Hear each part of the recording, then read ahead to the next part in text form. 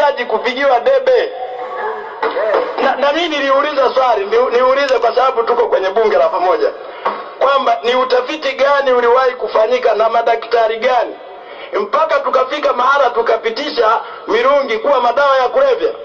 Ni utafiti gani? Hebu nasema kila siku. Ukienda nairobi mirungi inasindikizwa na smg za jeshi la kenya kuna ndege mbili zinateremka kwa wiki mara mbili. Boeing kupeleka mirungi huko nchi za ulaya.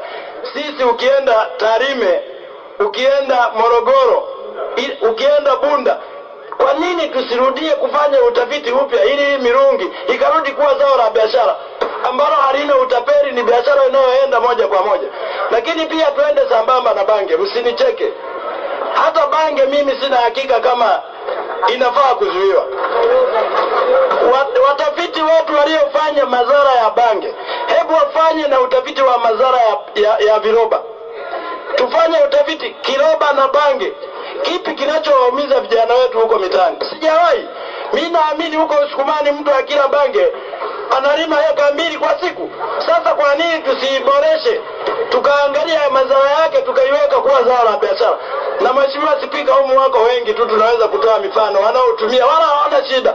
Na ndo vigogo kwenye hili bunge Sasa kama nyinyi wenyewe watunga sheria mnatumia mheshimiwa mwenyekiti meseji imeenda. Naomba pia swala la maji